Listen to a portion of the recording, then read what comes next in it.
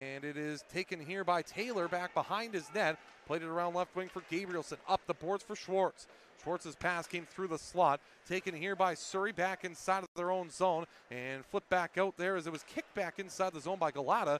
And the Eagles break out of their own end. Seven minutes gone here in this opening period. Rolls in a pass left wing side. Bongo in. Takes a shot. He scores. Jake Bongo finds room on the left wing side to carry in. And Bongo finds the back of the net with a chip shot over the glove side of Justin Katz. So Jacob Bongo has the marker, his fifth goal of the season. And just like that, it's Surrey that jumps ahead and takes a 1 to nothing lead. Reeves in the corner, turning away from pressure.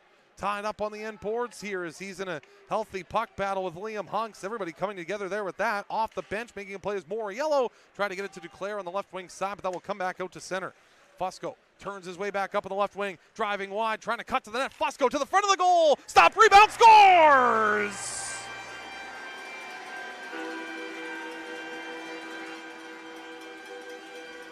Matt Fusco, a terrific net drive down the left wing side.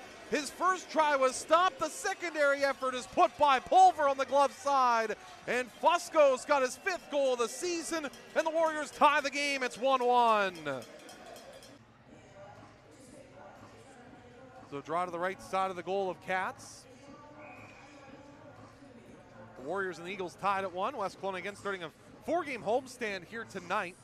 Playing Penticton next Friday, Salmon Arm next Saturday, and then welcome the Vernon Vipers to town Friday, November 4th before going on the road to a desirable location in Merritt. The Warriors' first trip to see the Centennials. Centering pass by Riley Luciak, just missing Felix Caron in the middle of the ice, and the Eagles try to bring it back the other way. A lead feed that could not connect with the forward there in Jake Bongo. Katz gave the puck away, and a chance in front is blocked by Aiden Reeves. Justin Katz turned the puck over. It looked like maybe he had an issue with his skate blade, and Reeves came back, and you can credit him with a save tonight as he stopped that puck in front as Jake Bongo tried to make his way to the front of the goal. Off the draw, it is the Warriors that will put this back inside the Surrey zone. Duclair chasing after it here to negate the icing in the left wing corner. Duclair up the boards. Left point now, Nolan Hayes walks to the middle. Left circle, Duclair moving and taking a shot. Stop, rebound, pushed off the goal line by Gabrielson, who was in a battle in front with Brennan Nelson. And we get a stoppage in play because of a hand pass. What an opportunity that was as Duclair got the puck in the left face-off circle. Try to get it back again. The puck will come back out to center. And it's Ewan Rennie that will carry it ahead. Rennie in across the blue line, right wing side. Try to center a pass in front that was knocked away. Loose puck still in the high slot, poked away by Luciak, who tries to carry the other way and he will. Possible odd man rush for the Warriors. It's Luciak down the left side, in front. Caron scores!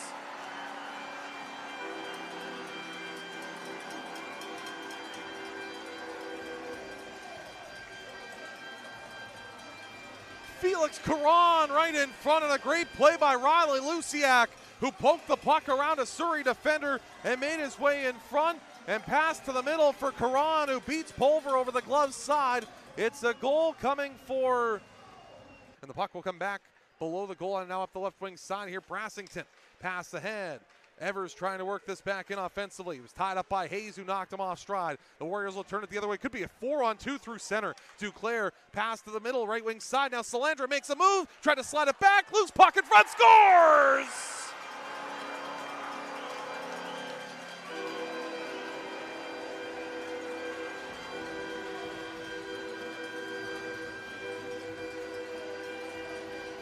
Brennan Nelson finds the loose puck in front and backhands it through Pulver on a four on two rush inside of the offensive zone. It's Nelson that finds the back of the goal with his third of the year, and two quick goals for the Warriors has them ahead 3 1. Round the boards on the left wing. Aaron Schwartz will take it here for Surrey. Back to the midpoint. Ross Rollison for Schwartz left wing side. Rollison gets a pass back in the middle to the right wing now. Jake Bongo, right circle shot. He scores! Jake Bongo's second goal of the hockey game from the right face-off circle let the shot go and it found its way through Katz and in.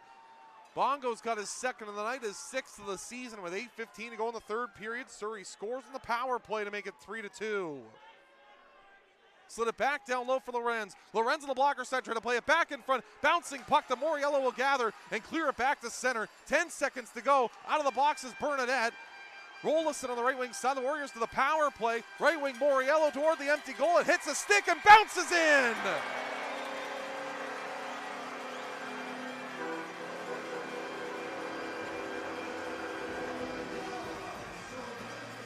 Jaiden Moriello is going to get the goal into the empty net with 1.4 to go in the third period. And the Warriors are going to knock off the undefeated Surrey Eagles and hand them their first loss of the season.